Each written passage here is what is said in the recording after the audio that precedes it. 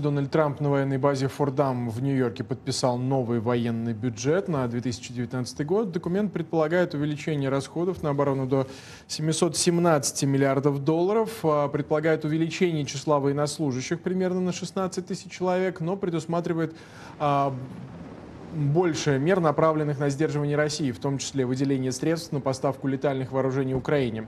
В числе антироссийских мер приостановка сотрудничества с Москвой в рамках договора по открытому небу, который предусматривает взаимные инспекционные полеты. В России подписание Трампом военного бюджета уже прокомментировал пресс-секретарь Путина Дмитрий Песков, который назвал его доказательством, цитата, от, от беспочвенности, простите, позиционирования России как угрозы кого бы то ни было, будь то европейские страны или страны, находящиеся на североамериканском континенте. Цифры говорят сами за себя, конец цитаты. По просьбе настоящего времени Америка новый американский военный бюджет прокомментировал экс-помощник замминистра обороны США, а ныне старший эксперт Дину Патрицию Евразия Центр Майкл Карпентер. В целом, новый оборонный бюджет больше направлен на противодействие России и Китаю, нежели на противостояние терроризму и группам боевиков. Но это постепенное изменение. Тут нет ничего внезапного или драматического.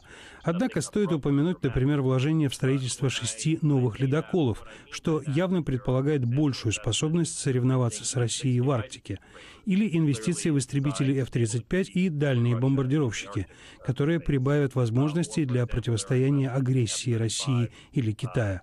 Что касается договора по открытому небу, в бюджете есть положение о том, что Пентагон не будет обновлять свой флот самолетов, задействованных в наблюдательных полетах по договору,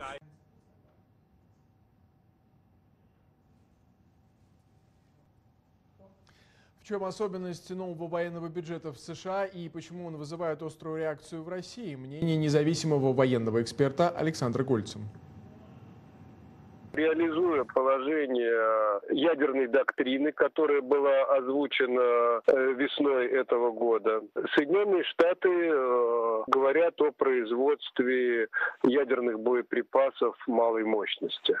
Это серьезно, потому что фактически Соединенные Штаты решили, что Россия приняла на вооружение концепцию ограниченной ядерной войны. Весь опыт моделирования возможности ограниченной ядерной войны в 80-е годы, а такие, такое моделирование проводилось как в Советском Союзе, так и в Соединенных Штатах, однозначно говорит, что никакой ограниченной ядерной войны быть не может, что она очень быстро перерастает в войну глобальную.